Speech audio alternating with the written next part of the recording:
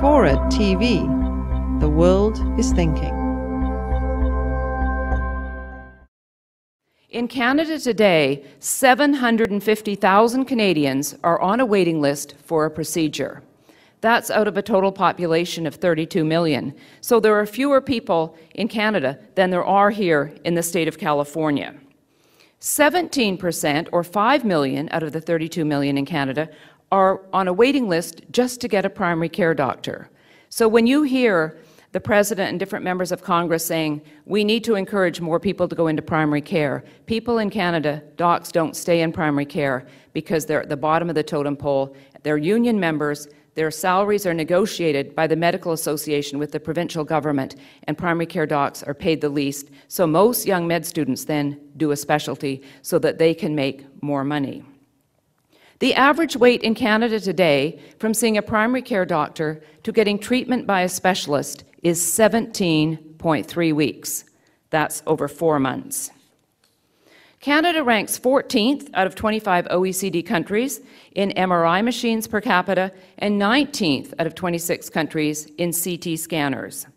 30,000 Canadians every year leave Canada and come to the United States and pay for procedures out of pocket because they don't want to be on a waiting list.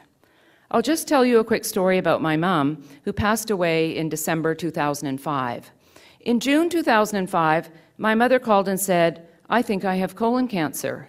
And I said, Well, you better go to the doctor and, and get a colonoscopy. So she went to the doctor, and he said, Well, you don't have colon cancer. Um, so um, that's fine. She, so she went home. And I said, Well, did you get a colonoscopy? And she said, Well, no. He checked my stomach and said everything was fine. And I said, Well, you need a colonoscopy.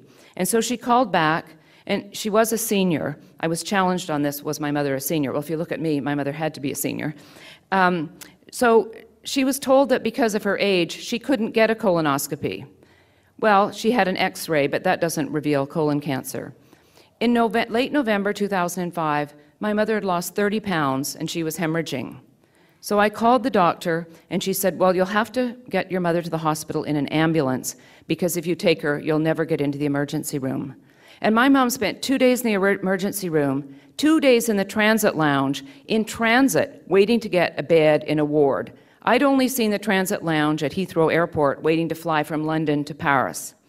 Well, my mother did get her colonoscopy, and she passed away two weeks later from um, uh, metastasized colon cancer. But this is what happens when government sets budgets, and the older people are the people who are hurt first.